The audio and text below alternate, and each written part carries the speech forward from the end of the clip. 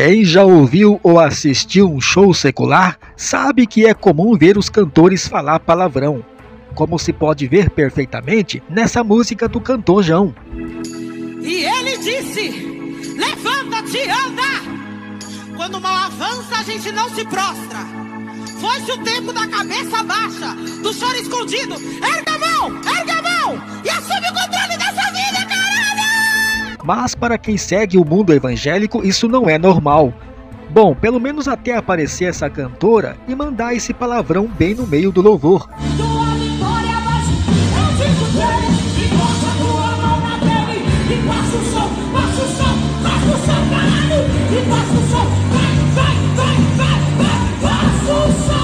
Situações como essa nos fazem pensar que tipo de evangelho estamos vivendo. Um evangelho impuro, imoral e decadente.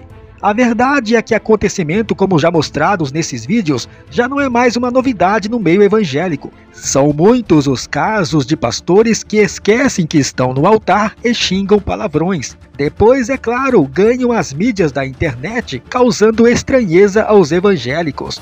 Então, vamos conhecer cinco pastores boca sujas que esqueceram que estavam no altar e xingaram palavrões, chocando os fiéis da igreja.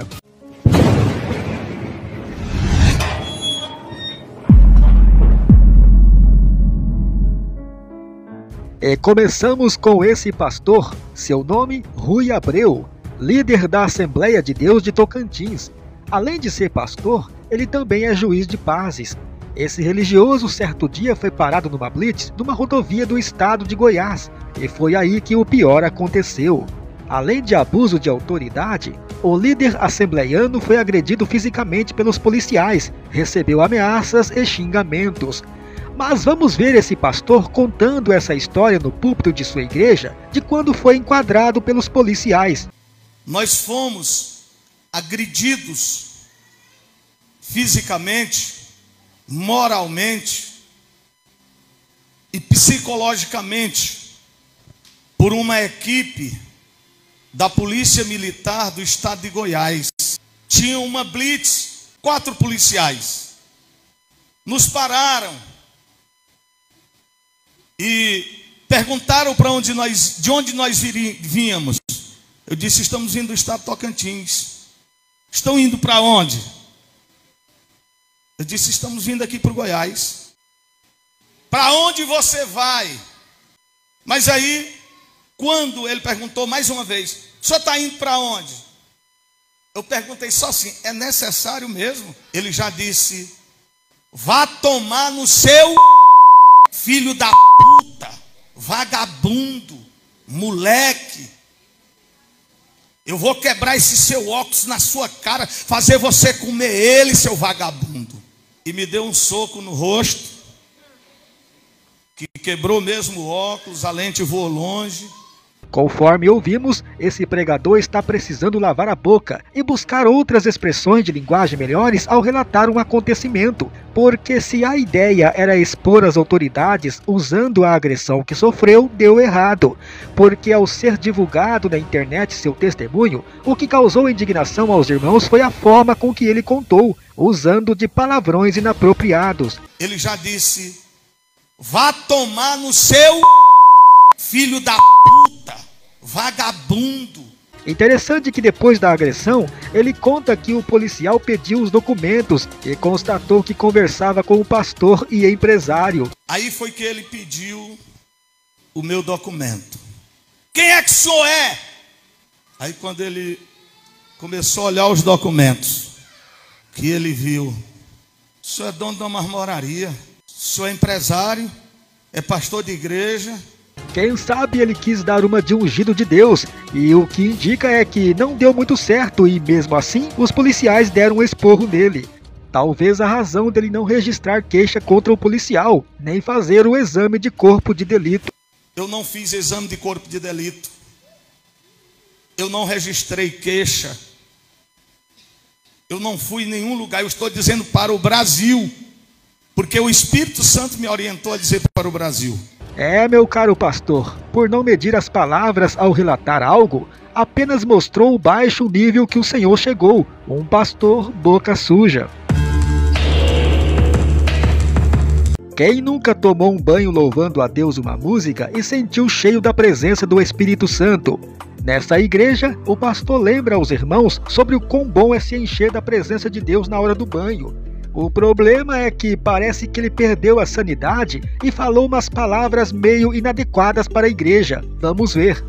Viesse para o culto aqui, se na hora do seu banho tivesse louvando a Deus, se enchendo da presença de Deus, lavando lá a sua bunda, lavando a perereca, lavando o pinto, você imagina o poder Evidente que essas falas do pastor que usou no momento do culto pegou todo mundo de surpresa. Nas imagens se vê que tinha tudo para ser mais uma daquelas pregações fervorosas, se não fosse esse pequeno detalhe. Se enchendo da presença de Deus, lavando lá sua bunda, lavando a perereca, lavando o pinto. Ele simplesmente, usando palavras inapropriadas, exemplificou como é estar cheio da presença de Deus na hora do banho. Realmente tem pessoas que gostam de louvar a Deus na hora do banho, e se tá no banho é natural que se lava as partes íntimas do corpo. Isso que ele falou é mais que normal para qualquer pessoa. O que não foi normal foi ele detalhar isso para toda a igreja. As falas do religioso acabou sendo criticado por alguns evangélicos, que veem na postura do pastor um ato digno de repreensão, pois se os pastores pregam que os fiéis não devem dizer coisas não edificantes, como palavrões, por que motivo iriam proferi-los em seus sermões? Paulo Neto é um cantor gospel da atualidade, sucesso entre o público jovem. E acredita que nem ele escapou de ser um boca suja gospel? Isso mesmo. No vídeo que viralizou na web, ele aparece dentro de um carro conversando com um amigo e de repente solta a frase: Vamos ver. Vamos de almoçar. Almoço abençoado. E aí? As coisas, Meu Deus do céu, o óculos dele tá fazendo uma falta. Vou Caraca, tua estrutura óssea facial tá prejudicada. Caraca, prestou atenção na fala do cantor? Caraca, embora seja uma expressão de estupefato às coisas ou situações inusitadas, é uma gíria para o palavrão caralho. Essa gíria é normalmente usada na maioria das vezes pelos jovens. No caso do cantor, ele falou diretamente ao amigo no carro. Caraca, tua estrutura óssea facial tá prejudicada. Mas sabemos que falar palavras de baixo calão ou popular palavrão, falar gírias, palavras chulas, ofensivas, obscena e imoral jamais devem fazer parte do vocabulário de um que serve a Jesus. É por isso que as falas do cantor, ao ser compartilhado na internet, e tem chocado os evangélicos e dividido as opiniões. Para alguns internautas, o cantor foi extremamente indecente na sua linguagem, caracterizando o mundano. Para outros, ele está certo por fazer sucesso entre os jovens, mas não se expressou como devia por ser cristão, e para piorar, se filmando com o celular. E o vídeo do cantor gospel Paulo Neto, supostamente falando um palavrão, acabou viralizando na internet e o artista recebeu uma chuva de críticas. Mas você sabia que para você realmente não ser um boca suja, você precisa dar um like aqui nesse vídeo aqui? Meu brother, se você gosta do Fatos e Verdades, se você quer apoiar de alguma forma, deixa o like aqui. É muito importante para a gente poder continuar nessa caminhada, certo? Tamo junto! Os protestantes difundem com todo vigor suas crenças, utilizando de todos os meios de comunicação possível. Antes era com os livros, depois o rádio, passando para a televisão e agora a internet. E é com o avanço da internet que até os fiéis outrora desconhecidos têm seu momento de fama por terem seus vídeos compartilhados na web. E isso foi possível graças a um canal de TV, e foi numa transmissão do culto da Igreja Mundial do Valdemiro que o registro aconteceu, e nós temos a chance de ver agora na internet. Imagina o fiel dentro de uma igreja, na frente de centenas de pessoas e sendo televisionado. De repente, por um momento espontâneo, solta aquele palavrão sem querer. Mundial do Poder de Deus. Foi ele. Deus está nesse lugar? Tá sim. Cadê a dor de cabeça? Saiu, sumiu. Saiu? Foi pra casa do caralho. Quem te... É isso, rapaz. Isso só pode acontecer na Igreja Mundial do Valdemiro. Vamos ver de novo. Mundial do Poder de Deus. Foi ele. Deus está nesse lugar? Tá sim. Cadê a dor de cabeça? Saiu, sumiu. Saiu? Foi pra casa do caralho. Foi pra casa do caralho. Quem te... É isso, rapaz. Você percebeu que parece que este homem não é muito acostumado a ir na igreja, não? E você prestou atenção que ele está com a famosa toalhinha na mão? Já pensou se ele resolve mandar o diabo tomar naquele lugar? Os pastores que se dizem estar debaixo da santidade de Deus parecem estar em um nível totalmente oposto. Isso quando se trata daqueles que têm a boca totalmente sujas, como esse pastor e coach Tiago Brunet. Ele é mais um que se tornou o centro das discussões na internet após falar um palavrão numa entrevista. Tiago estava bem à vontade durante essa entrevista e falava de seu livro que aborda sobre relacionamento, quando simplesmente acabou se empolgando e soltou a palavra indevida, que passou despercebido aos ouvidos do entrevistador. Vamos ver. Comparação, que é outro inferno. O que é comparação? Cara é amigo, o cara é casado e o melhor amigo dele é solteiro. Porra, lógico que vai dar problema. Porra, lógico que vai dar problema. Porra, lógico que vai dar problema. Irmão, eu tenho quatro filhos, eu chego em casa, é gritaria o tempo todo. E deu problema mesmo, porque os internautas logo perceberam que a linguagem do pastor não deve fazer parte do vocabulário de um cristão. E você percebeu que ele até põe a mão na boca, como que se notasse a fala inapropriada? O cara é casado e o melhor amigo dele é solteiro. Porra, lógico que vai dar problema. As falas do religioso acabou sendo criticado por alguns evangélicos, que veem na postura do pastor um ato digno de repreensão. Pois se os pastores pregam que os fiéis não devem dizer coisas não edificantes, como palavrões, por que motivo então o pastor pode proferi-los em seus sermões? A realidade é dura e cruel. A comunidade religiosa até já está acostumando com esses palavrões que, vez ou outra, um pastor fala no púlpito. A Bíblia diz: até o tolo, quando se cala, se passa por sábio. O tolo, o maluco, quando se cala, se passa por sábio.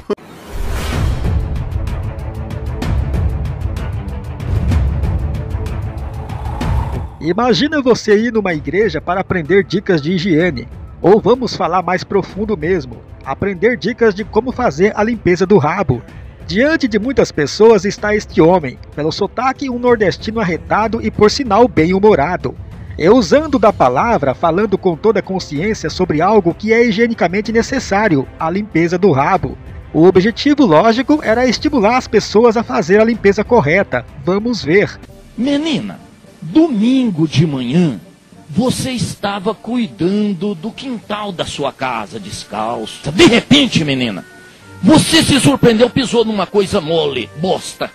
Bosta não, bosta de gente, que é pior de tudo. Quando você viu aquilo, pisou, o que, que você fez? Limpou? Você limpa? Limpa com papel. Ah, lava! lava! Põe debaixo da torneira, né? E solta uma aguinha assim. Não? Como você lava? Sabão, bucha, lava bem.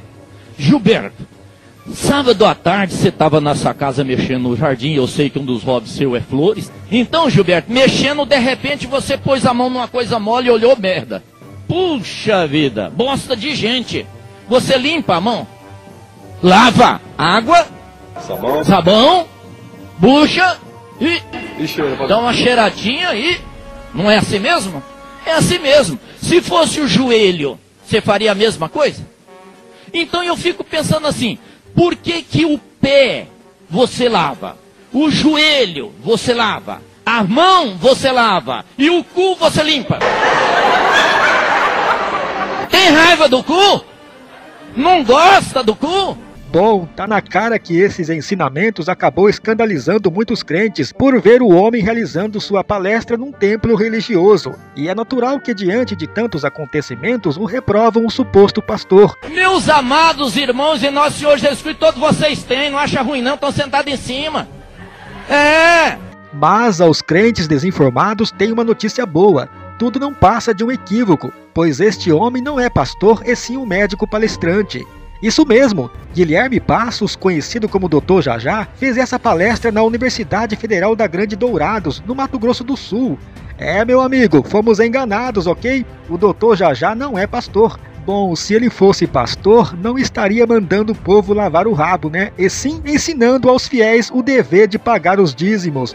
Agora, levando um pouco pro lado do humor, o que tem de mulher agradecendo esse doutor, pois o que tem de homem que não lava o rabo não está escrito nos anais da religião. Agora, falando sério, que tal acatarmos essas recomendações do Dr. Jajá, que é lavar o equipamento evacuatório após cada vez que utilizar esse órgão para efeitos fisiológicos? é isso mesmo. Lavar com sabão, muita água, dar aquela esticadinha assim para as pregas abrirem um pouquinho. Lavar, meus amigos, não precisa nem pedir ajuda, não, faz você mesmo, não é mesmo? Lavar com esguichinho é uma delícia. A coisa mais difícil do ser humano fazer é controlar a própria língua. Mas com a ajuda de Deus, podemos limpar o nosso coração e enchê-lo de pensamentos puros, e usarmos nossos lábios para agradar a Deus e abençoar as outras pessoas com as nossas palavras. Observe muito bem o que está escrito na Bíblia. Todos tropeçamos de muitas maneiras. Se alguém não tropeça no falar, tal homem é perfeito, sendo também capaz de dominar todo o seu corpo. A pessoa com o coração cheio de malícias sempre irá fazer piadas sujas e comentários maldosos, até mesmo sem perceber. O mesmo ocorre quando traz um coração cheio de rancor, sempre vai dizer palavras duras e prejudicar o semelhante.